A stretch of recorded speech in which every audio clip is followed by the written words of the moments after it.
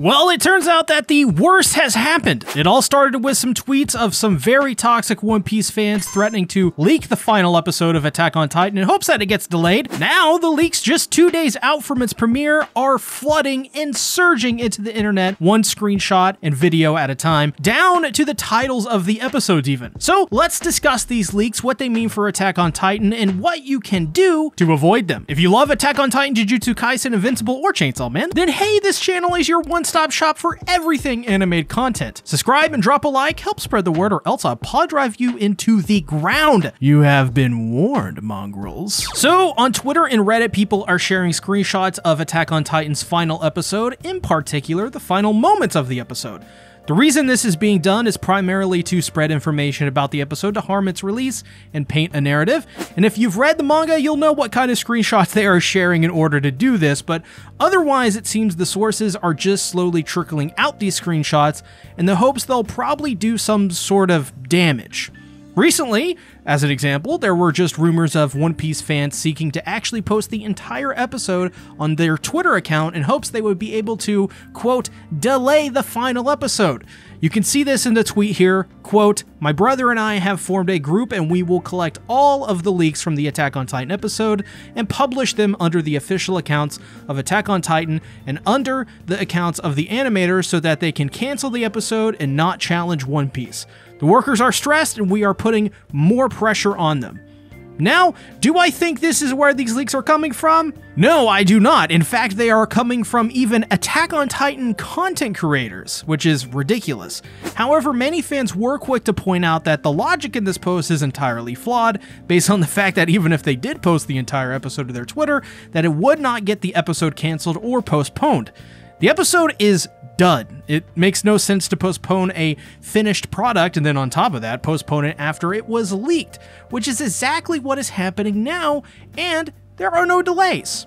Also, it's quite disgusting, in my opinion, to go out and try to put even more pressure on animators when it's not the animators or staff who deserve any hate or stress from any of this. I feel like a lot of people on Twitter and Reddit who literally do not know anything better think that the animators are making a lot of decisions and out to get the fan base at MAPPA when in reality they are the grunts more than anything, just following orders. What people don't realize is that it's the freaking CEOs and corps who are trying to run MAPPA into the ground with mismanagement and mistreatment of staff, severely misunderstanding how anime production even works.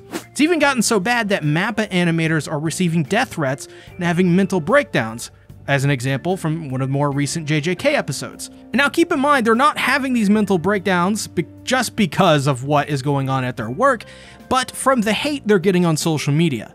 I mean, think about it. You think that with all of the hard work they put in, that while they get no respect from their bosses, they would at least get some from the fans because, you know, they're fans themselves. But that's not the case here, and it's a lot of really dumb people running off misinformation and anger inducing algorithms that are making their lives a living hell for no reason at all. It's as I said, disgusting, and disrespectful. To make matters worse, you can tell these people feel threatened because they want One Piece to be this, you know, this biggest and bestest anime that nobody else can ever talk about, let alone they don't even realize that this is probably one of the biggest properties in all of Japan in media ever.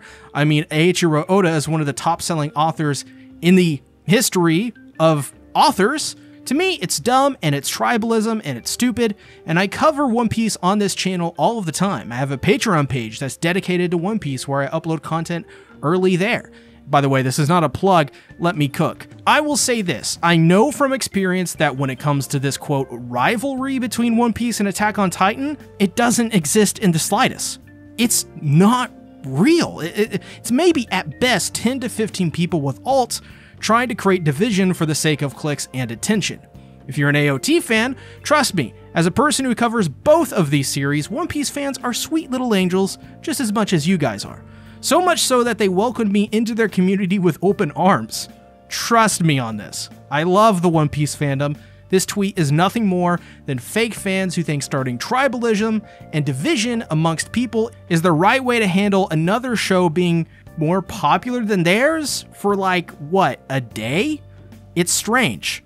Do I think this is where the leaks are coming from, though? Once again, no. I, I think it's quite simple just from It's coming from multiple sources, not just from this one group of people. As for how you can save yourself from these leaks, especially on Twitter, all you need to do is go into your settings, change the muted words to whatever you'd like. This will stop that content with those keywords showing up, so I'll leave a link below in the pinned comment that will show you a short tutorial on how to do it so that you can protect yourself from these leaks.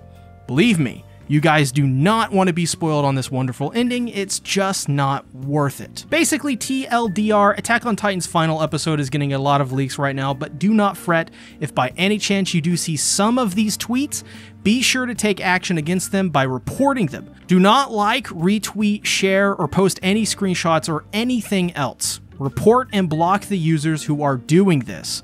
Sadly, some of these people are Attack on Titan content creators, and as a creator with a somewhat decent following in the same niche, my statement on this is that I think this is highly disappointing that there are some people who hate Attack on Titan so much and seek so much attention that they would try to go to the links to terrorize the staff at Mappa further or try to ruin it for everyone.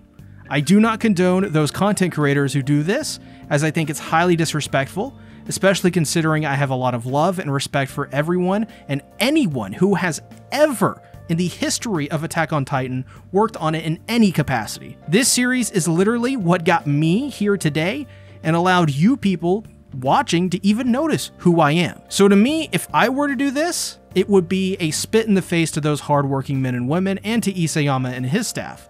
This is not the way to go about doing this. If you see people doing this kind of stuff, don't stand up for it. Call them out even if it is me, which I hope it isn't. So I hope this video helped you stay clear of some spoilers and gave you some insight on what is happening right now. Also, thank you everyone for yesterday's video, which in a little over 24 hours has 40k views. That's insane, you guys, so thank you to everyone who liked the video, who watched the video, and for the 100 people who subbed, and the 40,000 people who watch me. Please, everyone, enjoy the final episode of Attack on Titan, and I hope that you all who subscribed enjoy the content. Let's keep it positive and fight against the Doomers one step at a time. Financially support the channel by becoming a patron, where you'll gain access to my mega One Piece arc reviews and first impressions. Thank you for watching. Bye bye.